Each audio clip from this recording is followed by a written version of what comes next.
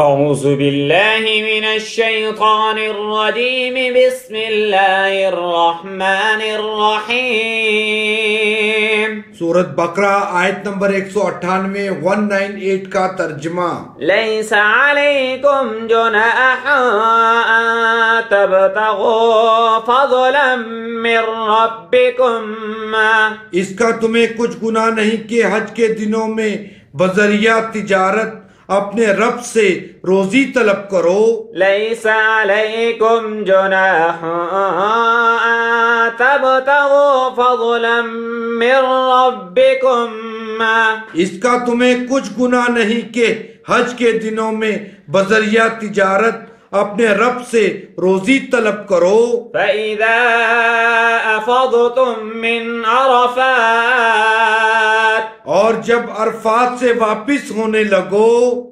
فإذا أفضتم من عرفات اور جب عرفات سے واپس ہونے لگو۔ فاذكروا الله عند المشعر الحرام واذكروه كما هداكم تو مشر حرام یعنی مزدلفہ میں اللہ کا ذکر کرو اور اس طرح ذکر کرو جس طرح اس نے تم کو سکھایا۔ فاذكروا الله عند المشعر الحرام واذكروه كما هداكم تو مشر حرام یعنی مزدلفہ میں اللہ کا ذکر کرو اور اس طرح ذکر کرو جس طرح اس نے تم کو سکھایا۔ وَإِن كُنتُم مِّن قَبْلِهِ لَمِنَ الضَّالِّينَ۔ اور اس کے پیشتر تم لوگ ان طریقوں سے محض نہ واقف تھے۔ وَإِن كُنتُم مِّن قَبْلِهِ لَمِنَ الضَّالِّينَ۔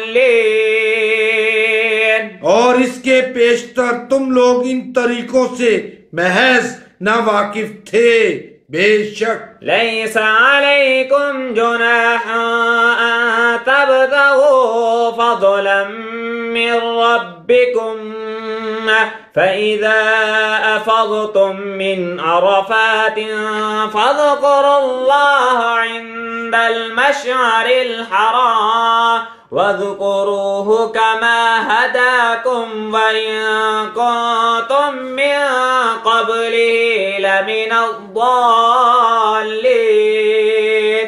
بے شک، اور اگر حج کے ساتھ ساتھ تم اپنے رب کا فضل بھی تلاش کرتے جاؤ، تو اس میں کوئی مذائقہ نہیں۔ پھر جب عرفات سے چلو، تو مشر حرام تو مشر حرام مزدلفہ کے پاس ٹھہر کر اللہ کو یاد کرو اور اس طرح یاد کرو جس کی ہدایت اس نے تمہیں دی ہے ورنہ اس سے پہلے تو تم لوگ بھٹکے ہوئے تھے۔ بے شک۔ اللهم صل على محمد النبي الأمي وعلى آله وسلم تسليما.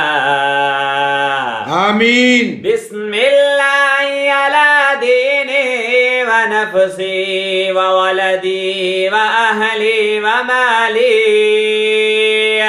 آمین الحمد لله على كل حال الہی آمین يا أليم يا حليم يا ألي يا عظيم یا اللہ ہمارے اہل خانہ اور اولاد کو نیک بنا۔ آمين یا اللہ ہمارے رزق میں کوشادگی عطا فرما۔ آمين یا اللہ ملک پاکستان کی حفاظت فرما۔ آمين صلى الله عليه وآله وأصحابه وأهل بيته أجمعين. آمین جزاک اللہ دو چار. سن دو ہزار سترہ. اللہ اکبر.